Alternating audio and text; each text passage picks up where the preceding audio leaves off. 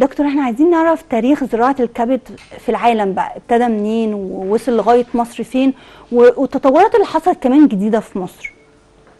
هو الحقيقة آه الكبد زي ما حضرتك عارفة عضو من الأعضاء الحيوية. اللي لو فشلت آه حياة المريض بتبقى مهددة فكان في مرضى بتوصل حالة الكبد بتاعهم خلاص.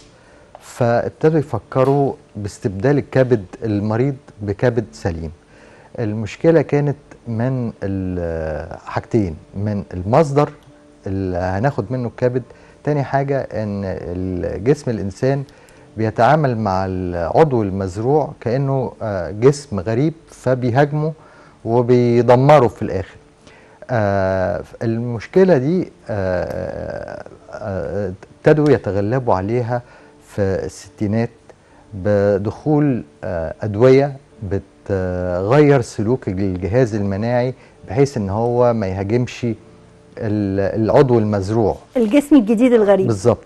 طبعا الأدوية دي مع مرور السنين اتطورت وبقت آه، يعني آه، فعاليتها أكتر والأضرار بتاعتها أقل. ال ال بالنسبة لمصدر الكبد ابتدوا يعملوا تجارب على ياخدوا الكبد من حيوانات آه، وخاصة الشمبانزي.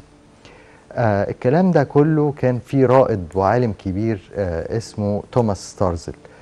اللي عمل أول تجربة لزراعة الكبد وكانت أول تجربة ناجحة هو عملها كانت سنة 1967 في ميامي في أمريكا.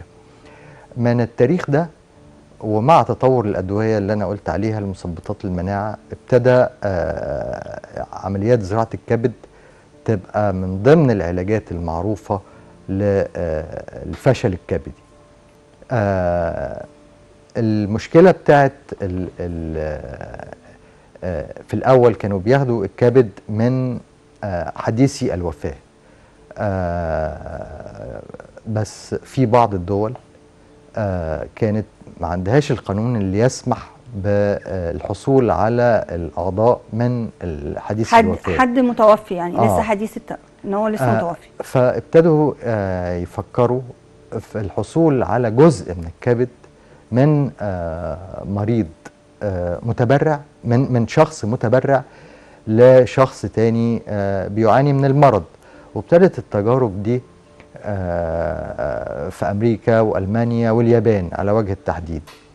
آه، آه، سنة آه، معهد الكبد القومي أنشئ سنة 87 سنة آه، 91 آه، الأستاذ الدكتور ياسين عبد الغفار الله يرحمه اللي هو أنشأ. معهد الكبد القومي آه، برؤيته ال- ال- ال- آه، اللي بتستشرق ال- المستقبل. قال لازم آه، نبتدي نفكر نعمل عمليات زراعة الكبد آه، في مصر. آه، واختار معهد الكبد القومي اللي هو كان أسسه إن هو يبقى مكان لعمل أول عمليات زراعة الكبد في مصر. وكان بيعاوننا طقم من المملكة المتحدة آه، منهم آه، رئيس الفريق كان الدكتور ناجي حبيب وده آه، مصري وبيشتغل آه، في إنجلترا. والحقيقة اتعملت ثلاث حالات في معهد الكبد القومي ودي كانت أول كانت حالات 91 91 مم. أول حالات تتعمل آه، في مصر وفي الشرق الأوسط وفي أفريقيا زراعة كبد من متبرع حي. وكانت مصر هي رابع دولة آه، على مستوى العالم اللي تجري العمليات دي في وقتها وده كان في معهد الكبد القومي جامعة المنوفية. آه، المشكلة بتاعت زراعة الكبد من متبرع حي إن الجزء اللي بناخده من المتبرع آه، غالبا كان بيبقى صغير فما كانش بيكفي غير الأطفال. آه، لأن الطفل وزنه أقل وبيحتاج حجم أقل. فابتدت عمليات زراعة الكبد من متبرع حي أساسا في الأطفال. وأكتر دولة آه، كانت متقدمة في المجال ده كانت آه، اليابان. آه، مع مرور ال- السنين ودخل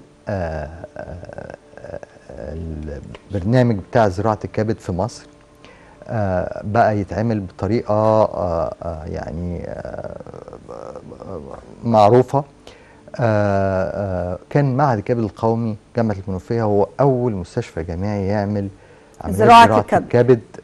آه، بال- بالبرنامج الجديد الكلام ده كان سنة 2003 البرنامج الجديد يعني حضرتك بتقول إن هو معناه كده إن هو العضو يعني مثلا أخدوا جزء أكبر من الكبد من المتبرع ابتدى بقى ي- ولا لأ لسه صح. آه ابتدوا يقدروا ياخدوا آه، جزء أكبر. أكبر مم. وده بقى يكفي لو المريض شخص حتى كبير. بالغ بالظبط. ممكن يتزرع له كبد آه، أو لو طفل هناخد جزء صغير, صغير بالظبط. آه وبرضه في الأول استعنا بخبرة ال- اليابانيين اللي هم كانوا يعني أكبر دولة متقدمة أو عندها خبرة في المجال ده لأن في وقتها كانت اليابان برضه آه زراعة الكبد من حديثي الوفاة كانت محدودة جدا. آه ف- فكانوا بياخدوهم من متبرع يعني بالظبط. حي أو طب دكتور هي بيبقى لها مواصفات للمتبرع ولا حابب إن أنت نكمل وبعد كده يبقى نخش في موضوع لا المتبرع؟ نتكلم عن المواصفات. المتبرع. آه, مم. آه المتبرع طبعا آه لازم آه يبقى بالغ. آه لازم فصيلة الدم بتاعه تبقى آه متوافقة مع فصيلة الدم المريض. ولازم يكون آه آه صحيح ولا يعاني من أي أمراض آه مزمنة آه وكمان لازم يكون وزنه آه يعني آه مكافئ لوزن المريض لأن إحنا بناخد آه جزء لازم يكفي المريض ولازم الجزء اللي هيفضل للمتبرع يكفيه آه فعلا الكبد في. خلال أسابيع. قليلة بينمو بس في الفترة لحد ما ينمو ويوصل للحجم ال ال الطبيعي لازم الكبد ال- أو الجزء من الكبد اللي فاضل يكفي المتبرع ويكفي المريض. آه زي ما قلت من 2003 ابتدى عندنا البرنامج ال- ومع الوقت آه استغنينا عن الخبراء ال- اليابانيين. اليابانيين. آه وبقينا نعملها لوحدنا. في معهد الكبد القومي وبعدين بقى عندنا خبرة كبيرة فبقينا نساعد كمان المراكز الأخرى آه سواء في مصر أو حتى خارج مصر أن آه نساعدهم في إنشاء مراكز لعمل آه زراعة الكبد في الأطفال وفي الكبار. طب دكتور هشام حضرتك أثرت كذا نقطة مهمة جدا وهي أهمها اللي هو لما بنيجي ناخد من متبرع لازم يكون المتبرع ما يكونش عنده أمراض مزمنه لازم يكون صحيا آه كويس. كمان